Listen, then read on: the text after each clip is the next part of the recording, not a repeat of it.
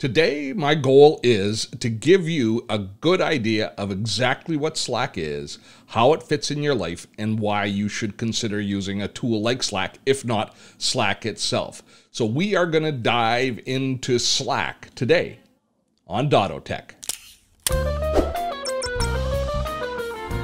Steve Dotto here. How the heck you doing this fine day? And we've got a daunting task ahead of us. I want in today's video to give you a really good solid idea of exactly what Slack is and where it fits in your life. Now to do so means that this video is a little bit longer than our normal video. So what we've done is we've actually broken the topics down into almost chapter headings, which you see listed here.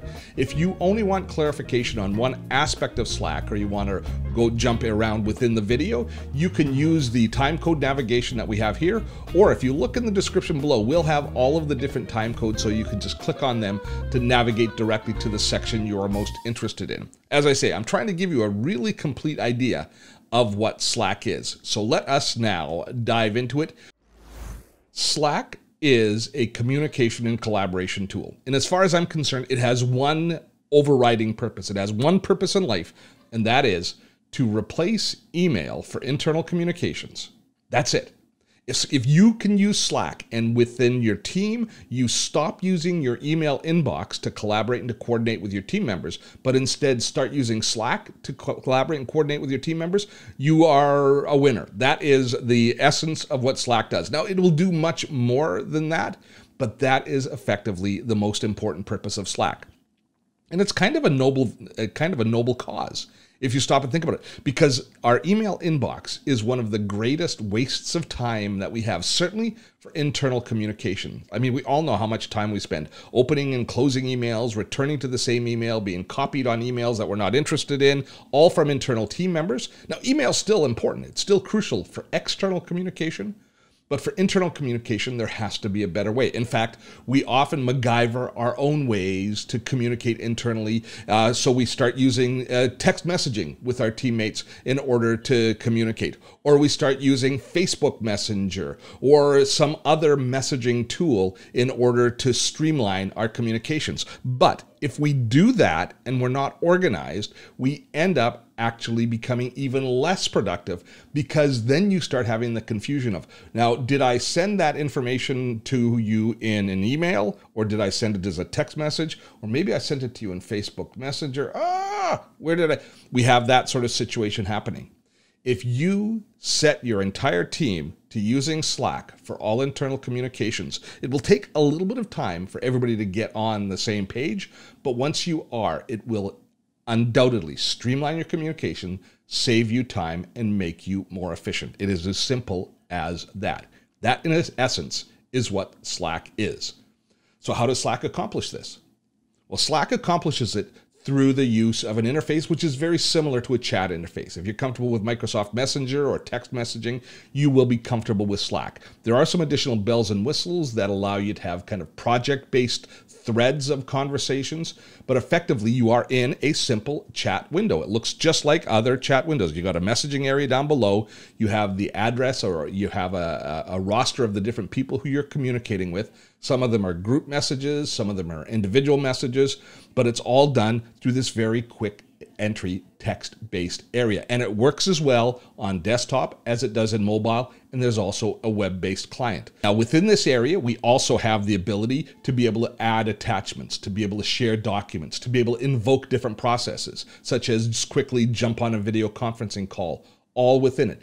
But they actually call this area a workspace, and it is. This is where your project lives, this is where your team lives, and this is the workspace that you all live within in a virtual environment. That's the essence of what Slack is. Okay, let's get you started installing Slack. But before we do that, let's talk a little bit about where Slack lives because Slack has, I guess you've got three different places that you will end up accessing your Slack account. Slack is a cloud based service, meaning all of the information gets shared back and forth through web services in the cloud. Now you have three different apps. I guess we could call them apps. Three different apps that you can use to have conversations in Slack and to manage your Slack installation. The first is you can do it within a web browser. Here is my Slack account open in a web browser. So that's something that you can access from any computer that has web access. And in the web version, you also do a lot of your account management. You can do a lot of things as far as setting up your account. But there's also a desktop app that you can install, which has addition. It, it's slicker, it's cleaner, it's faster, uh, and then you can install that in Macintosh or Windows. Most of the time, we spend in the desktop app, which will allow us to have multiple workspaces open at the same time. That you are going to want to download, which we'll show you about in just a moment. Then there's also a mobile app for Slack. Let me show you that. That's on your smartphone or on your tablet. So you can also download a mobile version, and each one of these tools, each one of these apps, accesses the same conversations at the same time all through the cloud interface. So regardless of which one in, which one you're using, you are in your Slack account when you are using it. Now, how do you go about getting it in the first place? Well, I'm not going to walk you through the entire installation process because that's just kind of repeating something that the folks at Slack have already done a great job of. I'm going to have a link down below in the description to this web page here, which tells you how to download your Slack app, install it on your devices, and get started. So once you've done that, you can come back and we'll start talking about the Slack interface. Before we go on, humor me for a moment. If you want to learn the fastest and most efficient way to use Slack, both as a user and as an administrator, let me tell you about the Slack Academy, a project that I'm working on with my good buddy Brooks Duncan, who is a far better teacher of all things Slack than I can ever be well, we're collaborating and producing a course called the Slack Academy. Now, there's a free version and a paid version. The free version will give you a great tutorial, far more detail than I can go into in this video on how to use Slack. The paid version is for those of you who want to make sure that Slack is installed efficiently in your company and all of the users and the administrators are on the same page. So I encourage you to visit theslackacademy.com and take a look. Let me take you now on a little bit of a tour of the Slack interface. Now we're looking at the desktop app on the Mac, but it's pretty similar on all different platforms. The, the actual workspace is broken down into a couple of different areas. First of all, we have the workplace switcher here. This allows us to jump back and forth between different teams that we might be working in. If you're a freelancer or a subcontractor, you might have several different companies you work with. You might have several different teams within your organization that you work with. And each one of those can be identified here. Now, I've got my main Dotto Tech channel, which is my team, my my my the team that works with me every day. We are all here. As well, I've got this one for Slack Made Easy. This is an old course that we created before we started on the Slack Academy, and this is a channel that we created for that. And it's got hundreds of people from all over the world who were learning about using Slack within that workspace. And then I've got several other channels that are for projects that I'm working on with external companies. Next to the workspace switcher are our different channels. Each workspace you have might have different channels. And the way you can look at the channels is they are projects that you're working on. So related conversations on an individual project are all going to be clustered into the different channels. And you can make as many or as few channels as you want uh, but you create them here. So this is where related conversations happen. And then beneath that, you have your direct messages, which is where most of us use Slack most often. This is a direct one on one conversation or small group conversation with two or three or four or five people, where you've got a group of people that you're having a conversation with, and it appears, uh, all of the conversations appear in their feed. And then we have the actual conversation feed here, which looks very similar to any other instant messaging app you have. And you can incorporate all sorts of assets. Videos and images and documents can all be incorporated here. And all you do to communicate is you just go in and you type away, and uh, your conversations happen back and forth. Now, before we leave the interface, I'm going to show you in the drop-down menu here, this is where you can go in and you can update your profile and you can also do some basic management and administration of your Slack channel. That happens within the drop-down menu here. And you also do a lot of those functions on the website in your account at the website as well. But that's the interface of Slack.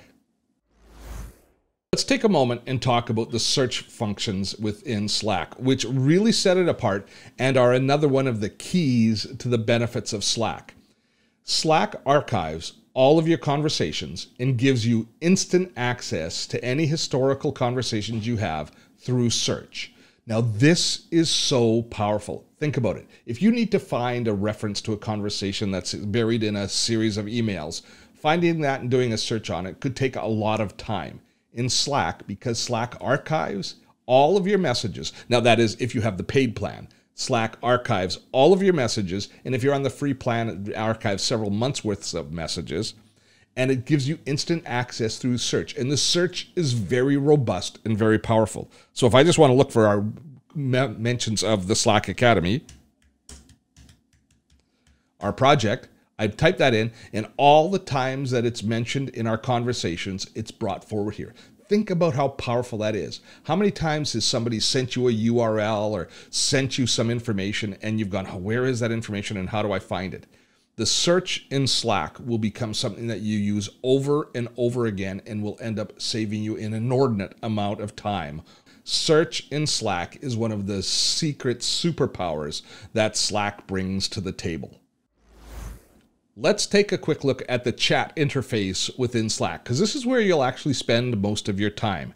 Now you can select either channels, which you have conversations in, which you basically broadcast your message to everybody in the channel, or you can have specific conversations down here in the direct message area. And I've actually started a conversation with Liz, and I'm just going to continue on that conversation. So it's just like other messaging apps. You just type into the chat box below and you hit enter and it sends off the information. The conversation goes back and forth. Now I asked Liz, this is I'm actually recording this demo on a Saturday, so I'm I'm asking for a lot from a team member. Uh, but Liz, I, I poked at her and I said, Hey Liz, do you have time for a quick conversation? I'm doing a demo. And you can see the little thread that we're having the conversation on here. The reason I asked right here is are you on your desktop or in mobile? Is because I don't see a presence indicator here. I don't see a little light telling me that Liz is online. If she was on her desktop, I would see that she's there. And this is really an important factor if you are working with team members, knowing who's online, knowing who's not, knowing has do, who has a do not disturb sign on them or who's snoozed all notifications so they aren't getting notifications. Using Slack instead of using email means that there is an additional opportunity for instant communication to happen back and forth with a team member, kind of going back and forth really quickly. But you have to know whether the person's available or not, or your nose might get out of joint if somebody doesn't reply to you right away.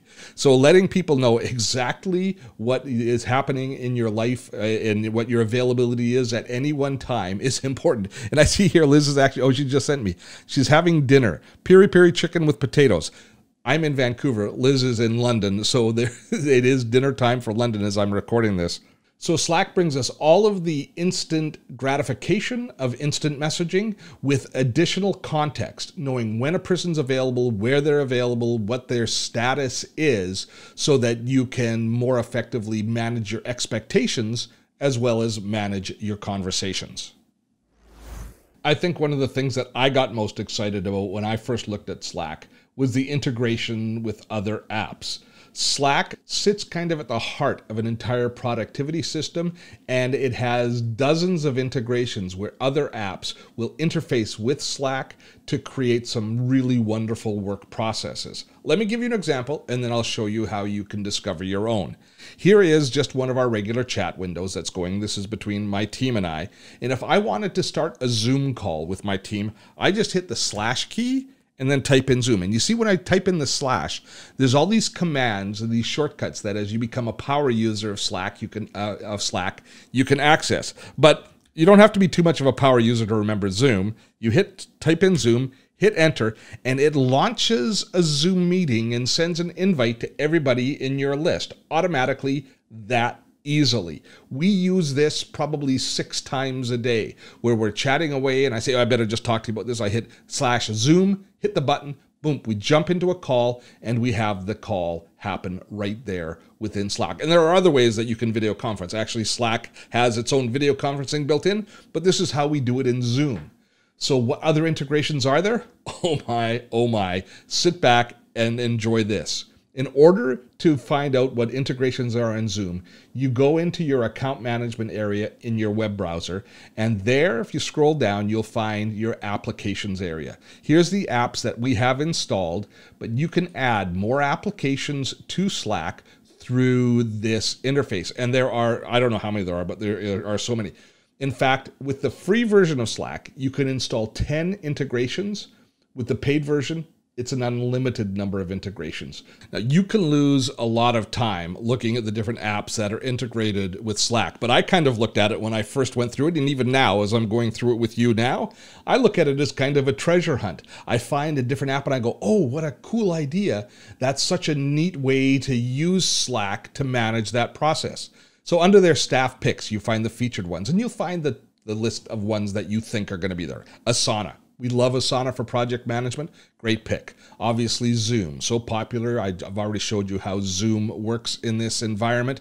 Google Calendar. And it goes on and on with a variety of other tools.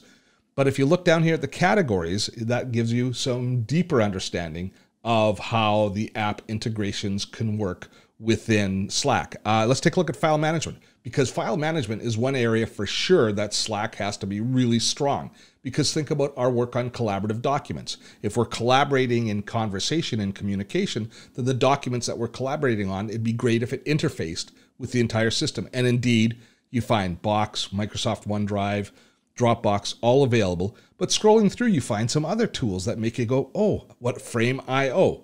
You probably don't know what Frame.io is, but it's an, a video editing application that allows you to share files back and forth and edits back and forth with an editor through the video interface. We also see Adobe's Creative Cloud there. So for creatives, it can work for us. HelloSign. If you need documents being signed and you need to manage that process, having the conversation layer integrate with the actual document layer, that is very powerful. This is the sort of integration that we find within Slack. I won't spend any more time in here because I could spend a whole bunch of time just pointing at things and going, oh, this is cool. Oh, this is cool. But I think you get the idea. The app integration with Slack is one of the real powerful aspects of this as a tool. Let me show you a little bit about the app in mobile. Now I have my iPhone here, and if I go into the Slack app on the iPhone, I can go into any of the conversations that I have and chat. And this is very similar to an instant messaging app right on your smartphone. You can see I have access to the conversation Liz and I just had, and I can go in and I can chat back and forth. You have pretty much the exact same control as you would have on the desktop. And if you look at the very top here, you've got the three lines, kind of the hamburger menu. That'll bring us back and allow us to navigate more broadly within the channels, within the different channels that we have built into Slack. So it's a very, a lot of people live on the mobile version of Slack, and it's similar on the iPad. You've got great functionality in mobile. It's a very comfortable interface. And with this style of conversation, it just works tremendously well in the mobile environment. I want to return to one other aspect of using Slack before we wrap things up. And when I was showing you the little chat that I was having with Liz, I talked a little bit about the fact that I could tell if Liz was online or not and what the status was of Liz as we were having the conversation. This is something which is really important. So I wanted to return to it for a moment to just kind of make sure that you recognize how valuable this is. When you're working with a remote team, uh, knowing who's available to you and who you have access to is important as you work your way through different issues in the day.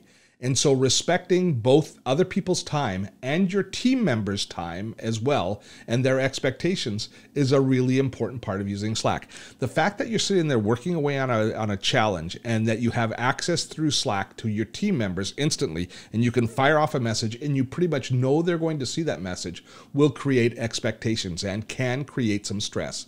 But here's the key to managing that if you just click here on your account settings, you have the ability to change your status at any point. You can pause notifications coming to you and tell people, look, I'm not going to get any notifications until tomorrow. Then your team knows that you are have not registered this you're not going to acknowledge it so you aren't going to be able to help them until tomorrow so uh, setting reasonable expectations is tremendously important when you have a tool that reaches out in as intimately as slack does and reaches right to where a person's working when they're working you can actually have some fun with this too. I just want to show you this. You can set all of these little bit more fun aspects of setting your status as well. You can let people know if you're sick, if you're commuting. You can use this one. I'm in a meeting for an hour, so just recognize I'm in a meeting for an hour, and then everybody out there who is on who is on my team will see if they go to message me, it's going to have that little calendar icon and it's going to say Steve's in a meeting. He'll be available in an hour, so they know Setting expectations, I think, is one of the keys to using Slack efficiently. There's a lot to Slack. Don't be intimidated by how long this video is and how we were able to just superficially skim over the surface of Slack. One of the beauties of using Slack is it's a tool that you can use super efficiently just for simple conversations at the beginning and over time as you get more experience you can you will start to use the deeper and deeper integrated tools and applications. It's a tool that you can grow with. You don't have to know everything. You don't have to understand everything. When you start using Slack, you can begin using it very efficiently right at the beginning, and you will grow with the tool. I promise you that. Now, I hope that you found this video today to be useful. We hope to produce more videos on Slack, so I need some help from you. I need you to tell me in comments what you need to know more about yourself in the world of Slack, and I'll be happy to try and create videos to support that objective. And finally, I have two favors to ask of you. First, if you found this video to be useful, please give us a thumbs up and let YouTube know that it's a good video as well. And while you're at it, you might consider sharing it with somebody who will benefit from it. Secondly, if you're not yet subscribed to our channel, what are you waiting for? Hit that subscribe button, ring the notification bell, and I will see you next time right here on Dottotech. Till then, I'm Steve Dotto. Have fun storming a castle.